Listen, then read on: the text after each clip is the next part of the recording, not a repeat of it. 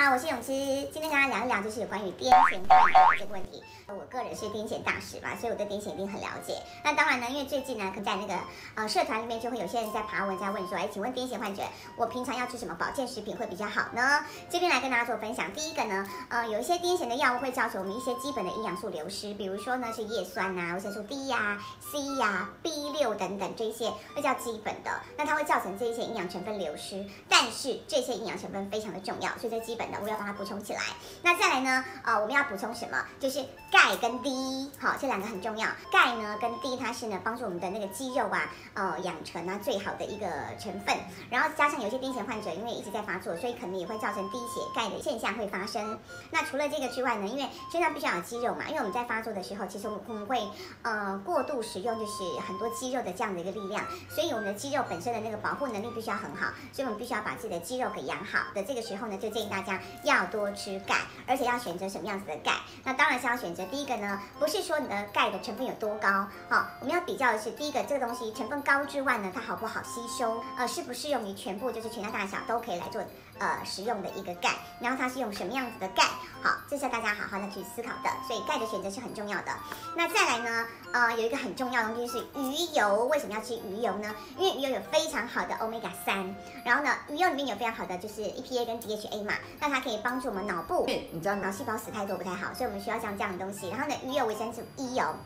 那这几个东西呢，都可以帮助我们头好壮壮。那我相信很多人长期吃鱼油都知道，那鱼油当然也要选择好的鱼油了。那至于什么选择呢？等一下呢，就是你也可以私信我，再告诉你怎么选择好的鱼油哦。那再来呢，还有一个非常非常重要的一个东西是什么呢？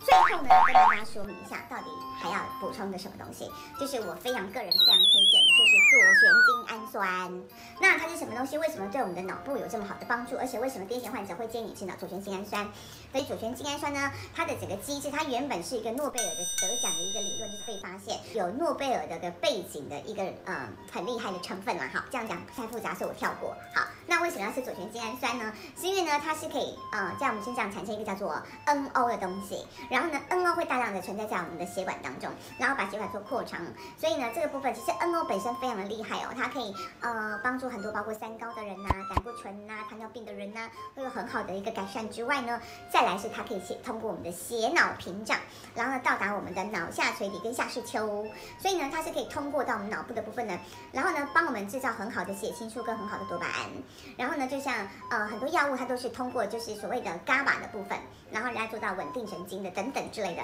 那它有类似像这样的效果，当然它并不是 GABA，它不是把 GABA 不一样的东西，但是它可以稳定呢我们的。呃，脑神经跟我们的脑细胞，然后会制造出好的荷尔蒙，好的就是激素，所以呢，你的脑子的部分的活跃度呢就会比较稳定，而不会，比如说一下子很 hyper，一下子很 down 这样子，就是呃，达到一个非常好的 balance。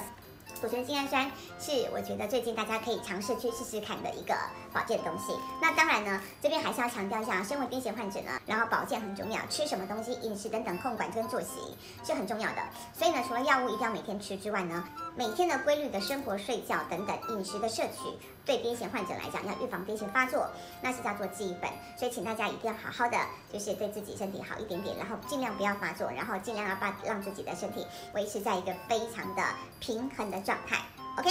好，那么就到这边了，拜拜。